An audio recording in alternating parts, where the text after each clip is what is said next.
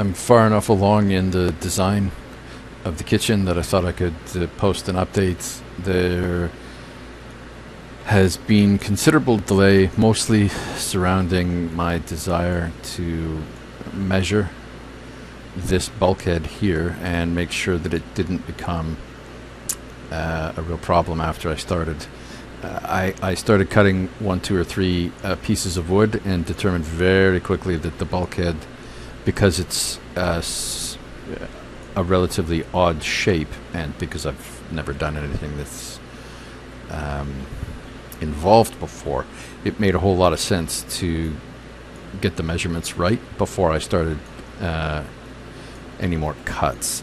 So that process is more or less complete, at least on for this side of the kitchen. The other side of the kitchen has back here. There's another bulkhead.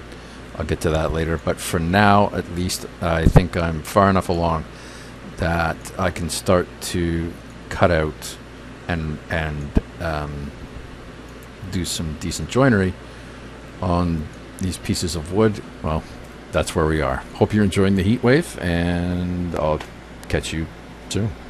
Bye.